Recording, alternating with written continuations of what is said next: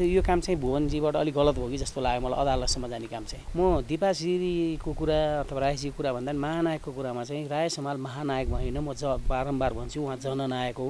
जनताको नायक हो महानायक भनेको भुवन केसी नै हो जस्तै एम्बरालजी बिचमा हराइराख्नु भएको थियो। दुर्गेशजी कारणले फेरि चम्किन थाल्नुभयो। एउटा रिन्यू चाहिँ गराइदिनु। भयो त्यसको लागि चाहिँ एम्बरालहरूले चाहिँ दुर्गेश थापालाई धन्यवाद दिनुपर्छ। एउटा इन्टरभ्यूमा भन्नुभएको छ कि साम्राज्ञीजी चाहिँ धेरै टिक्नु हुँदैन यो फिल्मी लाइनमा होइन? उहाँ चाहिँ कहीँ विदेशमा गएर बस्नुहुन्छ। अब उहाँको चाहिँ स्मरणमा मात्र हुनेछ अब यो नेपाली चलचित्र क्षेत्र।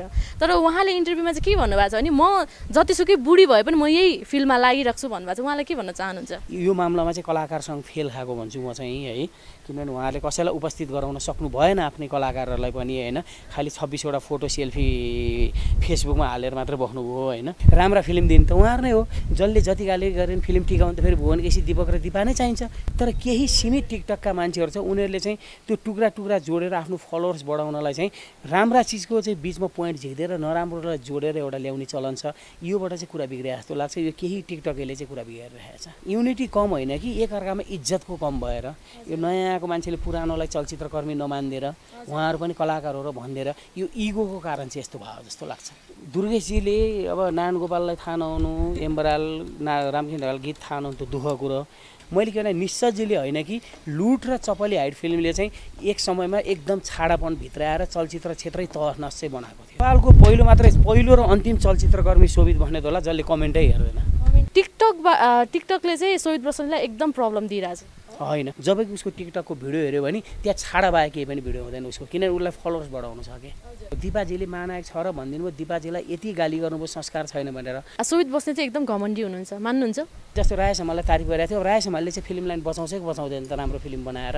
यो पनि कुरा आइरहेको छ अहिले। भुवन केसी र साम्राज्ञीको केसमा भुवन गल्ती थिएन। साम्राज्ञिक गल्ती त मैले भुवन सही भने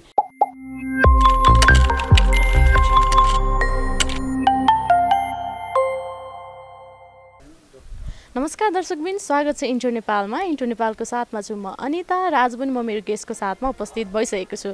मेरो गेस्टको इन्ट्रो दिनुपर्दाखेरि चाहिँ उहाँ चाहिँ नेपाली चलचित्र क्षेत्रमा निकै लामो समयदेखि सक्रिय हुनुभएको र ठुलो योगदान दिनुभएको। नेपाली चलचित्र क्षेत्रको वरिष्ठ निर्देशक निर्माता तथा कलाकार शोभित बस्नेत सर उहाँले हामीले यस कार्यक्रममा स्वागत गर्न चाहन्छु। स्वागत सर हजुरलाई।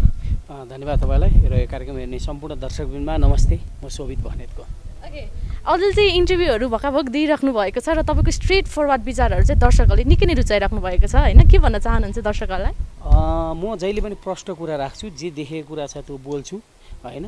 चलचित्रकर्मी सिनियरहरूको इज्जत होस् भन्ने चाहन्छु र भएको कुरा बोल्दाखेरि दस पर्सेन्ट खुसी हुनुहुन्छ भने नाइन्टी पर्सेन्ट नब्बे पर्सेन्ट दुःखी पनि हुनुहुन्छ तर म प्रष्ट विचार राख्छु। त्यही नै हो भन्न चाहन्छु। अब लकडाउन भर्खरै सकेर खोलि पनि सकेको छ होइन? लकडाउन चाहिँ कसरी बित्यो हजुरको? लकडाउन चाहिँ मेरो अहिले यहीँ थानकोटमा अहिले स्टुडियो बनाइरहेको छु बस्नेत स्टुडियो भनेर होइन? सुटिङको लागि तपाईँको मिडल क्लास फ्यामिलीको लागि एउटा इन्डोर सुटिङहरू बनाइरहेको छु होइन? स्टुडियो त्यसमै बित्यो मेरो र अब अहिले सुटिङ हुन पनि थालिसक्यो होइन? अब भिडियो म्युजिक भिडियोहरू सिरियलहरू एडहरू चाहिँ सुटिङ गर्न किन सेललाइट मुभीहरू त सुटिङै सुरु भएको छैन। अरू चाहिँ सुटिङ हुन थालिसक्यो होइन? त्यसले गर्दा यही स्टुडियो बनाएर नै बित्यो लकडाउन चाहिँ मेरो चाहिँ। हजुर। लकडाउनमा भनौँ न अहिले पनि त हुन त हो। बेसार पानी कति खानुभयो हजुरले? मैले खाइनँ कहिले पनि।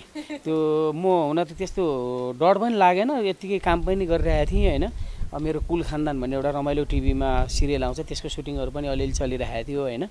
त्यो बेसारै पानी खाएर यसरी चाहिँ बसिनँ म। अलिअलि आफूलाई सुरक्षित भएर चाहिँ राखेँ होइन। अलिकति दुरी कायम गरेर तर बेसारै पानी खाएर चाहिँ बसिनँ म। अब सिधै मुद्दामै जाउँ हामी होइन? हजुरले धेरै दिनदेखि बोली आउनु भएको हाम्रो साम्राज्ञीजीको केसमा भुवनजीको केसमा चाहिँ बोलिराख्नु भएको केस चाहिँ अहिले एकदम ठुलो रूप नै लिएको छ भनौँ न। हाम्रो भुवन सरले चाहिँ मुद्दै हाल्नु भएको छ साम्राज्ञीजीलाई के भन्न चाहनुहुन्छ भुवन सरलाई? जस्तो यो केसमा भुवन केसी सही त थियो होइन? यो साम्राज्ञी केसमा भुवन केसी सही भएर मैले जहिले पनि बोलेँ तर जुन अहिले मुद्दा मामला अदालतसम्म गयो यो चाहिँ राम्रो भएन होइन? मलाई किन किन चित्त बुझिरहेको छैन? अदालतसम्म चाहिँ नपुग्या हुन्थ्यो। हुन त कलाकारसम्म भुव सङ्घमा चाहिँ भुवन केसीजीले हाल्नु भएको थियो होइन? कलाकार सङ्घ मौन भएर केही गर्न नसकेर अदालतमा पुग्याउनु हुनसक्छ किनभने कलाकार सङ्घले आफ्नै कलाकारलाई अगाडि प्रत्यक्ष राखेर उहाँहरूले केही पनि बोल्न सक्नु काम गर्न सक्नु भएन होइन? यो मामलामा चाहिँ कलाकार प्रसङ्ग फेल खाएको भन्छु म चाहिँ है। किनभने उहाँले कसैलाई उपस्थित गराउन सक्नु भएन आफ्नै कलाकारहरूलाई पनि होइन। खालि छब्बिसवटा फोटो सेल्फी फेसबुकमा हालेर मात्रै बस्नुभयो होइन। त्यसले गर्दा यसमा चाहिँ अलिक भयो तर अदालतसम्म चाहिँ नगाए हुन्थ्यो। यो काम चाहिँ भुवनजीबाट अलिक गलत भयो कि जस्तो लाग्यो मलाई अदालतसम्म जाने काम चाहिँ। अब तपाईँले यसरी निरन्तर इन्टरभ्यूहरू दिइराख्दाखेरि होइन डिफ्रेन्ट च्यानलहरूबाट दिइराख्नु भएको छ र भुवन सरले के भन्नुभएको छ? तपाईँलाई पर्सनली फोन गरेर हुन्छ कि के हुन्छ? म कसैको पर्सनली कुरै सुन्दिनँ। म सही कुरो बोल्छु भुवन केसीले मलाई राम्रो भनोस् अथवा नराम्रो भनोस् उसले सल्लाह दियोस् अथवा ठिक गरोस् भनोस् नगर म कहिले पनि यो कुरो मतलबै गर्दिनँ। म देखाएको कुरो बोल्छु म कसैसँग सल्लाह पनि लिन्न जे चित्त बुझ्दैन त्यो चिज बोल्छु जे बु बुझ्छ बोल्छु। जस्तो भुवन केसी र साम्राज्यको केसमा भुवन गल्ती थिएन। साम्राज्यिक गल्ती त मैले भुवन सही भने अहिले अदालती केसमा अदालत चाहिँ जान नहुने भन्ने सोच सोच मेरो होइन? यो काम चाहिँ गलत भयो जस्तो लाग्छ मलाई चाहिँ। तपाईँले पनि यो केसमा चाहिँ इन्टरभ्यू दिइराख्नु भएको छ साम्राज्यजीले पनि आफ्नै तर्फबाट दिइराख्नु भएको छ लाइभमा आइराख्नु भएको छ होइन? तपाईँहरू दुईजना चाहिँ दोहोरी खेले जस्तो भयो क्या? अब उताबाट पनि बोलिराख्नु भएको छ अर्को केसबाट पनि बोलिरहनु भएको छ। दुईजना टेबल टक गर्नु पऱ्यो भने चाहिँ गर्न सक्नुहुन्छ कि हुँदैन? म टेबल टक गर्न कहिले पनि पछि हट्दिनँ। म जहिले पनि टेबल टक गर्न किन म प्रष्ट राख्छु जे देख्छु बोल्छु होइन? त्यसले गर्दा म कहिले पनि यस्तो टेबल टकमा चाहिँ पछि हट्छु जस्तो मनस्थिति चाहिँ मेरो कहिले पनि छैन भएन। र हुन्न पनि। साम्राज्यजीको लेटेस्ट इन्टरभ्यू हेर्दाखेरि चाहिँ होइन अब हजुरले भन्नुभएको थियो एकचोटि एउटा इन्टरभ्यूमा भन्नुभएको छ कि साम्राज्यजी चाहिँ धेरै टिक्नु हुँदैन यो फिल्मी लाइनमा होइन? उहाँ चाहिँ कहीँ विदेशमा गएर बस्नुहुन्छ अब उहाँको चाहिँ स्मरणमा मात्र हुनेछ अब यो नेपाली चलचित्र क्षेत्र। तर उहाँले इन्टरभ्यूमा चाहिँ के भन्नुभएको छ भने म जतिसुकै बुढी भए पनि म यही फिल्ममा लागिरहेको छु भन्नुभएको छ। उहाँलाई के भन्न चाहनुहुन्छ? मैले साम्राज्यजी धेरै टिक्नुहुन्न भनेको मतलब ऊ भन्न कस्तो टाइप भन्दा एज अ हिरोइन उहाँको जुन एउटा हाइट थियो त्यो चाहिँ रहँदैन मैले भनेको छु होइन। क्यारेक्टर रोल जेमा त रहन सकिहाल्छ तर एज अ हिरोइन जुन उहाँको हाइट थियो ड्रिम्समा हजुरमा त्यो चाहिँ आउनलाई अलिक गाह्रो छ भनेर भनेको छु। त्यो सत्य हो जस्तो पनि लाग्छ मलाई। अब तपाईँले तपाईँको कुराहरू सुनिराख्दाखेरि चाहिँ होइन साम्राज्यजीको जब फ्लप फिल्म आयो उहाँ त्यही बेला मात्रै बोल्नुभयो जस्तो कुरा गर्नुभएको छ नि। तपाईँ के भन्न चाहन्छ यो विषयमा? किनभने अहिले मलाई जहाँसम्म लाग्छ महिला अधिकारको जुन एउटा उहाँले ह्यारेसमेन्ट भन्नुभयो जे भन्नुभयो यो यदि त्यो त्यति बेला छ महिना एक वर्षभित्र भनेको भए यो केस पनि हुन सक्थ्यो होला।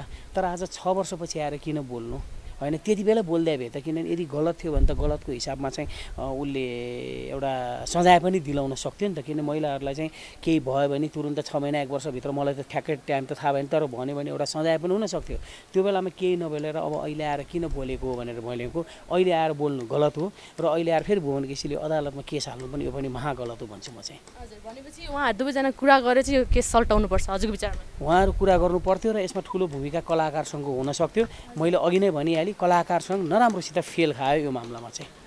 उहाँहरूले राख्न सक्नु भएन आफ्नो कलाकारलाई सँगै राख्न सक्नु भएन। अब यो लकडाउनको अवधिमा चाहिँ होइन हाम्रो कलाकारहरूको चाहिँ निकै नै ट्रोलहरू आयो होइन। उहाँहरूले बोलेको जिब्लो चिप्लिएको कुरालाई चाहिँ लिएर निकै नै सामाजिक सञ्जालमा चाहिँ उथुलपुथुल नै मजायो भनौँ न। हजुरले पनि धेरै कुरा नोटिस गर्नुभएको छ। मैले इन्टरभ्यूहरूमा हेरिराख्दाखेरि दुर्गेशजीको कुरा पनि निकाल्नु भयो के भन्न चाहनुहुन्छ हजुर दुर्गेशजीलाई चाहिँ? दुर्गेशजीलाई चाहिँ के भन्न चाहन्छु भन्दाखेरि दुर्गेशजीले अब नारायण गोपाललाई थाहा नहुनु एम्बराल ना रामकृष्ण ढकाल गीत थाहा नहुनु त्यो दुःख कुरो। तर एउटा राम्रो काम के गरिदिनु भयो भने जस्तै एम्बरालजी बिचमा हराइराख्नु भएको थियो दुर्गेशजी कारणले फेरि चम्किन थाल्नुभयो। एउटा रिन्यू चाहिँ गराइदिनु भयो त्यसको लागि चाहिँ एम्बरालहरूले चाहिँ दुर्गेश थापालाई धन्यवाद दिनुपर्छ। कमसेकम दुर्गेश थापाले गर्दा आज एम्बराल फेरि इन्टरभ्यूमा बिजी हुन थालेको छ कि? त्यसले गर्दा एम्बरालहरूलाई त फाइदै दिलाइदियो जस्तो लाग्यो। यो किसिमले तर अर्को किसिमले एउटा एम्बरालको गीत रामकृष्ण ढकाल जस्तो एम्बराल जस्तो दिग्गज गायकहरू नारायण गोपाल भक्तराज आचार्यको गीत थाहा नहुन्छ त्यो चाहिँ गलत कुरा जस्तो लाग्छ। सङ्गीतै फिल भएर जस्तो मलाई आएर चाहिँ तुलसी घिमिरेको फिल्म कुन अथवा प्रकाश थापाको फिल्म कुन भनेर सोध्यो भने अथवा दराम दालको फिल्म कुन भनेर सोध्यो भने त्यो थाहा भएन भने म डाइरेक्टर भएर मलाई आफ्नो सिनियरको कामहरू थाहा हुन्न भने त्यो पनि ठुलो सिनियर भनौँ जो पाए डाइरेक्टर थाहा नहुन नि सक्छ तर एउटा दिग्गज मान्छेहरूको फिल्महरू थाहा नभए भने त्यो जस्तो बेवकुफी काम चाहिँ केही हुँदैन जस्तो लाग्छ। मलाई चाहिँ। यो ट्रोलहरू चाहिँ किन आउँछ? जस्तो लाग्छ तपाईँलाई? यो ट्रोलहरू किन आउँछ भन्दा यो केही टिकटकका साथीहरूले गर्दा ट्रोल आउँछ। किनभने सबै भन्दैन सबले चाहिँ एउटा टिकटकलाई रमाइलोको माध्यम बनाएको छ। तर केही सीमित टिकटकका मान्छेहरू छ उनीहरूले चाहिँ त्यो टुक्रा टुक्रा जोडेर आफ्नो फलोवर्स बढाउनलाई चाहिँ राम्रा चिजको चाहिँ बिचमा पोइन्ट झिक्दिएर नराम्रोलाई जोडेर एउटा ल्याउने चलन छ। योबाट चाहिँ कुरा बिग्रिया जस्तो लाग्छ। यो केही टिकटकहरूले चाहिँ कुरा बिगारिरहेको छ। यो महानायककै केसलाई अगाडि बढाउँ होइन। महानायकको केसमा चाहिँ हजुरले राज समालजीलाई चाहिँ कतिको सपोर्ट गर्नुभएको छ? दिपाश्रीजीको कुरालाई चाहिँ कतिको चाहिँ भनौँ समर्थन गर्नुभएको छ? म दिपाश्रीको कुरा अथवा रायजीको कुरा भन्दा महानायकको कुरामा चाहिँ राय समाल महानायक होइन म ज बारम्बार भन्छु उहाँ जननायक हो। जनताको नायक हो महानायक भनेको भुवन केसी नै हो। किनभने उहाँले नेपालका जति पनि सुपर हिट फिल्म दिएको छ त्यो भुवन केसीले दिएको छ। हो जनताले राय समाललाई चाहनुहुन्छ मन पराउनुहुन्छ तर पर्दामा होइन पर्दा बाहिर। किनभने राय समालको फिल्मलाई त्यति सुपर हिट कहिले पनि बनाइदिनु भएन जनताले होइन? उहाँहरूले मनमा राख्नु भएको छ एकदम राम्रो मान्नु भएको छ। राम्रो पनि हो राय समाल भनेको इन्डस्ट्रीको इज्जत पनि हो। तर फिल्मको हिसाब गर्दा भुवन केसीले जति सफल फिल्म दिनुभयो जति सफल गीत दिनुभयो त्यति चाहिँ राय समालले दिन सक्नु भएन। तर जनताको लागि चाहिँ एकदम क्रेज भनेको राय समाल छ। त्यसले गर्दा राय समाल भनेको जननायक सुपरस्टार भुवन केसी भनेको महानायक। हजुरको नजरमा चाहिँ भुवन केसी महानायक। हो किनभने भुवन केसीले जस्तो सुपर हिट फिल्म नेपालमा कसैले दिन सकेका छैन र म जनताहरूलाई नै एउटा अनुरोध गर्न चाहन्छु के भन्दा राय समाललाई एकदम दिग्गज बनाउनु भएको छ। राय समालको फिल्म यदि आयो भने कसैले नहेरेर फ्लप नबनाइदिनुहोस्। यस्तो हिट बनाइदिनुहोस् कि राय समाल भनेको नेपालको सबभन्दा ठुलो हिट दिने मान्छे भनेर तपाईँहरूले बनाइदिनुहोस् न। राय समालको फिल्म आयो भने चाहिँ तपाईँहरू हेरिदिनुहुन्न। अनि फेसबुक उसमा चाहिँ सबै गएर यस्तो यस्तो भन्नुहुन्छ। अब राय समालको फिल्म आयो भने यसरी हेरिदिनुहोस् तपाईँहरूले कि नेपालको सबभन्दा ठुलो स्टार भनेको राय समाल उसको भन्दा फिल्म बढी कसैको चलेन भने यति चाहिँ बनाइदिनुहोस्। हामीले फेसबुक वालमा मात्र लेखेर हुँदैन साँच्चीकै फिल्म हेरेर एउटा हृदयदेखि नै टिकट काटेर फिल्म हेरेर त्यसलाई पनि हिट बनाइदिनुहोस् अनि मजा आउँछ भन्न चाहन्छु म चाहिँ। अब यो नेपाली चलचित्र क्षेत्रको पहिला कुरा पल्टाएर हेर्दाखेरि चाहिँ होइन मैले एकजनाबाट सुनेको थिएँ होइन। हाम्रो महानायक राज समालजीलाई चाहिँ पहिला एकचोटि बोइकट गर्ने भन्ने कुरा पनि आएको थियो। के भन्न चाहन्छु? यसमा तपाईँले सपोर्ट गर्नुभएको थियो अरे? होइन होइन। राय समाललाई बाइक बाइकआउट गर्ने भने यो कुरा पत्र मिडियाको केही मिडियामा त्यति बेला आएको थियो। तर फिल्मवाला र दर्शकले चाहिँ जहिले पनि राय समाललाई साथै दियो। त्यसले गर्दा यो केही मिडियामा एक दुईवटा मिडियामा चाहिँ त्यो फोटो निका नग्न फोटो राय समालको निकालेर अलिकति हङ्गामा भएको थियो। तर यसले राय समाललाई चाहिँ असर कहिले पनि केही पनि भएन। किनभने ऊ एउटा ठाउँ बनाइसकेको थियो। त्यो यस्तो ठाउँ बनाएको छ कि राय त्यो ठाउँलाई चाहिँ शान्ति न झिना मसिना कुराले असर गर्छ जस्तो चाहिँ लाग्दैन मलाई। त्यो समयमा चाहिँ कलाकारहरू एकजुट भएर अगाडि बढ्नु भएको थियो सम्भव त हो। केही राय समाललाई इगो गर्ने मान्छे। जुन हिरोहरू दुई चारजना हुन्छ जस्तै राय समालको सफलतामा इगोले गर्दा केही मान्छे चाहिँ संलग्न भएर अगाडि बढेको थिए तर सबैजनाले चाहिँ राय समाललाई सपोर्टै गरेको थियो त्यति बेला चाहिँ।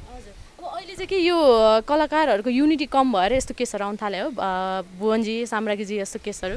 युनिटी कम होइन कि एकअर्कामा इज्जतको कम भएर यो नयाँ आएको मान्छेले पुरानोलाई चलचित्रकर्मी नमानिदिएर उहाँहरू पनि कलाकार हो र भनिदिएर यो इगोको कारण चाहिँ यस्तो भयो जस्तो लाग्छ। अब कसरी चाहिँ यस्तो केसहरूलाई सल्टाउन सकिन्छ होला त? इज्जत गर्न सिक्नु पऱ्यो आफूभन्दा सिनियरलाई जुनियरलाई माया गर्न थाल्न पऱ्यो र घर परिवार हो घर परिवार कुरा घर परिवारभित्रै राखौँ बाहिर नजाउँ भन्ने सोच्नु पऱ्यो भन्न चाहन्छु। अब हजुरले चाहिँ निश्चलजीको बारेमा नि बोलिराख्नु भएको छ। निश्चलजीले चाहिँ छाडापन अप्नाउनु भयो छाडापन ल्याउनु भयो नेपाली चलचित्र क्षेत्रमा भन्नुभएको छ।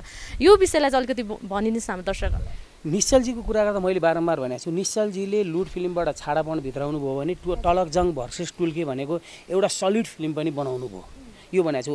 लुटले चाहिँ निश्चलजीले छाडापन भित्राएको तर निश्चलजीले नै लु टलकजङ भर्सेस टुल्के नि बनाउनु भएको थियो।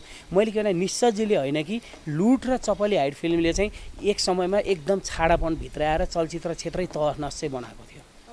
अब भनेपछि त्यस्तो चलचित्रहरू चाहिँ ब्यान नै गर्नुपर्छ हजुरको विचारमा? बिहान त हुँदै हुँदैन किनभने फोहोरी फोहोरी शब्द बोलेका चलचित्रहरू नि सेन्सरले पास गरिदिइरहेछ होइन? कसरी पास गर्छ थाहा छैन। तर हामीले नै सजग भएर फोहोरी चलचित्र चाहिँ नबनाएको राम्रो। हजुर। अब यही विषयमा चाहिँ हजुरको अब इन्टरभ्यूहरू पनि हेरेँ मैले कमेन्टहरू पनि अलिअलि हेरेँ होइन? त्यसमा आएको केही कमेन्टहरूलाई चाहिँ कसरी हजुरले एन्सर दिनुहुन्छ है त? नेपालको पहिलो मात्रै पहिलो र अन्तिम चलचित्रकर्मी शोभित बस्नेत होला जसले कमेन्टै हेर्दैन। म कमेन्ट लाइफमा हेर्दिनँ केही पनि। चाहे कसैले तारिफ गरे पनि हेर्दिनँ अथवा गाली गरे पनि हेर। म लाइफमा कमेन्ट भनेको कहिले पनि हेर्दिनँ। अब आरोप प्रत्यारोप त लागिरहन्छ नि। त्यसलाई विषयमा त हजुरले इलाबोरेट गर्न सक्नुहुन्छ नि पक्कै पनि। मजाले सक्छु किनभने त्यो छ। अब कसैले फोन गरेर सही बोल्नु भन्छ कसैले गलत गर्नु बोल्नु भन्छ तर कमेन्टमा के आयो म चाहिँ कसरी विचार गर्छु भन्दा मेरो भनाइहरूलाई तिन लाख चार लाख पाँच लाख छ लाख मान्छेले हेरिराख्नु भएको छ। त्यसमा दुई सय चालिसवटा कमेन्ट आउँछ अथवा गाली गरेर आउला रे। अब तिन लाख मान्छेले त्यो मेरो इन्टरभ्यूहरू हेर्दाखेरि दुई लाख उनान्से हजार छ सय पचासले चाहिँ केही पनि भनेको छैन तारिफ गरेको छ। अब त्यो भनौँ न तिन सय पचासले गाली गर्यो भनेर म तिन सय पचासको पछि लाग्ने त कुरा भएन नि। त्यो दुई लाख उनान्से हजार छ सय पचासले त शोभित भनेरलाई तारिफै गरे रहेछ त। म चाहिँ यसरी हेर्छु जहिले पनि। अनि त्यो तिन लाख चार लाखले मेरो इन्टरभ्यू हेर्दाखेरि दुई सय पचासले गाली गरेर मलाई असर होला जस्तो लाग्दैन। आरोप प्रत्यारोप चाहिँ मैले धेरैकोबाट सुनेको भरमा चाहिँ म हजुरलाई क्वेसन सोध्दैछु होइन? टिकटक टिकटकले चाहिँ सोहित प्रसन्नलाई एकदम प्रब्लम दिइरहेछ। होइन। टिकटकका केही मान्छे जो मैले अघि भने जो फलोवर्स बढाउनलाई कटिङ गरेर एउटा त्यो कटिङ गरेर इन्टरभ्यूलाई तोडमोड गरेर जहाँ जहाँ नराम्रो शब्द ठ्याक्क निकालेर राम्रो शब्द काटेर जोडेर आफ्नो फलोवर्स बनाउनलाई टिकटकका केही मान्छे छ नि यसले चाहिँ मेरो नराम्रो गरिरहेको छ लेखिरहेको छ। किनभने त्यो पनि तर त्यसमा म खुसी मान्छु। किनभने मेरो चिजलाई एडिट गरेर उसको आफ्नो फलोवर्स त बढाउन पाएको नि त। त्यसले गर्दा मलाई गर्व लाग्छ। कमसेकम त्यसले मलाई नराम्रो एडिट चिजको एडिट गरेर राख्दा नि उसको टिकटकको फलोवर्स त बढाएको छ नि। तर धेरैजनाले मलाई राम्रै गरिरहेको छ। टिकटक मान्छेले सोभितले प्रष्ट बोल्छ भन्छ। केही मान्छेले चाहिँ त्यसरी जोडेर चाहिँ फलोवर्स बनाउन राख्छ। जब कि उसको टिकटकको भिडियो हेऱ्यो भने त्यहाँ छाडा बाहेक केही पनि भिडियो हुँदैन उसको। किनभने उसलाई फलोवर्स बढाउनु छ कि? तपाईँको चाहिँ टिकटक छैन? मेरो पनि छ। तर रमा रमाइलो म रमाइलो गर्छु। टिकटक भनेको रमाइलोको लागि हो। छाडापन भित्राएर सबजनालाई जोडेर फलोवर्स बढाउनलाई जे पनि जस्तै कसैले नराम्रो शब्द बोल्यो होला अरे। त्यो बोलेर चाहिँ बोलेर नराम्रो बोल्दाखेरि चाहिँ ल दिपाजीले महानायक छ र भनिदिनु भयो दिपाजीलाई यति गाली गर्नुभयो संस्कार छैन भनेर। त्यो गालीका शब्द जसले जसले गर्नुभयो नि नराम्रा शब्द युज गर्नुभयो नि उहाँहरूको चाहिँ घरमा बाबुआमाले संस्कार सिकाएर रहन्छ जसले गर्दा दिपाश्रीलाई नराम्रो छाडा शब्द प्र गाली गर्ने पनि एउटा लिमिट शब्द हुन्छ नि। जसरी छाडा शब्दमा गाली गर्नु जतिजनाले गर्नुभयो म ग्यारेन्टीका साथ भन्छु उहाँहरूको बाबुआमाले संस्कार सिकाएर रहन्छ। संस्कार सिकाए एउटा आइमेलाई छाडा शब्दले सामाजिक सञ्जालमा लेख्न चाहिँ सक्ने थिएन। नेक्स्ट क्वेसनमा जाउँ है। सोभित बस्ने चाहिँ एकदम घमण्डी हुनुहुन्छ। मान्नुहुन्छ? होइन प्रष्ट व्यक्ति। म जस्तो घम किनभने शोभित बस्नेत घमण्डी भावे फिल्म लाइनमा पच्चिस वर्ष भयो। अहिलेसम्म शोभित बस्नेतसँग आएको चलचित्रकर्मीमा शोभित बस्ने मात्र बाँकी हो जसले चलचित्र क्षेत्रमा निरन्तर छ। घमण्डी भावे शोभित बस्नेत पाँच वर्षमै हराइसक्थ्यो।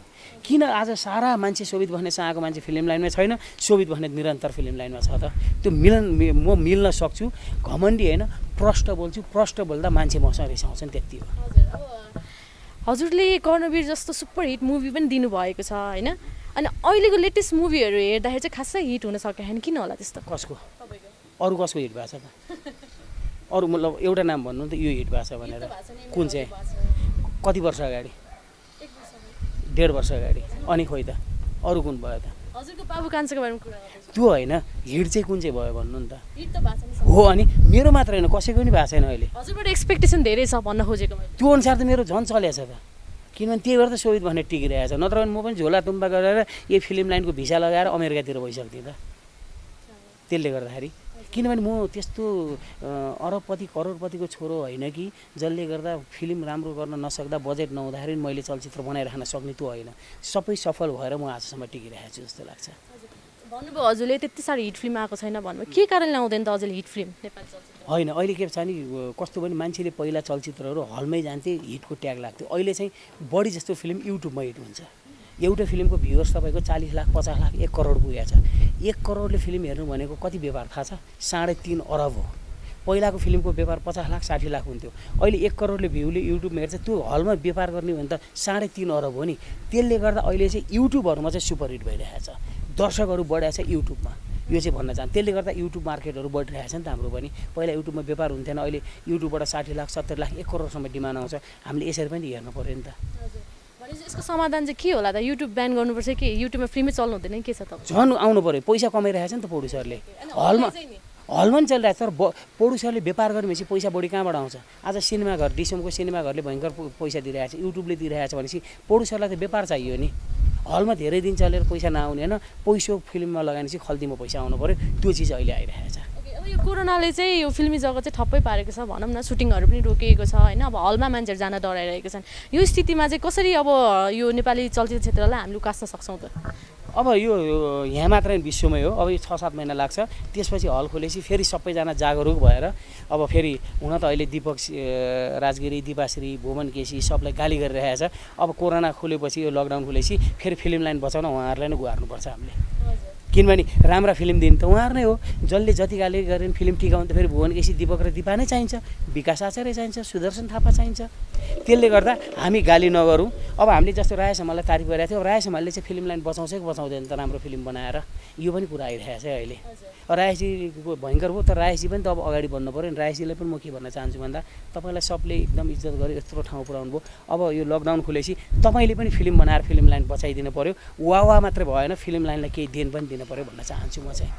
अब यो प्रसङ्ग अलिकति मोड्न चाहेँ मैले होइन? अब हजुरलाई देखेको नि लामो समय भइसक्यो होइन? जस्तोको तस्तै हुनुहुन्छ। यो राज चाहिँ के हो तपाईँको? म भर्खर हजुर यहाँ इन्टरभ्यू दिन आउँदाखेरि म हाम्रो सलुन बस्नेजी आउनुभयो भन्थालेर होइन म खुसी हुन्छु काममा राम्रो मिहिनेत गर्छु खुसी हुन्छु। म टेन्सन कहिले हुन्न कसले के भन्यो मलाई मतलब नि हुँदैन के हुँदैन। त्यसले गर्दा म आफ्नो खुसीमा हिँड्छु। त्यसले गर्दा म उस्तै भइरहेको छु जस्तो लाग्छ। यो दुःख टेन्सन भयङ्कर लिन थाल्यो भने मान्छेलाई टचर हुन्छ नि त। म कहिले पनि टचर लिन्न कहिले पनि टेन्सन लिन्न। अन्त्यमा जाँदा के भन्न चाहनुहुन्छ हाम्रो दर्शकहरूलाई? अन्त्यमै भन्न चाहन्छु अहिले लकडाउनले गर्दा फिल्म लाइन अलिकति ठप्प भएको छ। अब लकडाउन खोल्छ फेरि हामी जागरुकका साथ आउँछौँ सबैजना आउँछौँ राम्रा फिल्म लिएर आउँछौँ भन्न चाहन्छु। Thank you so much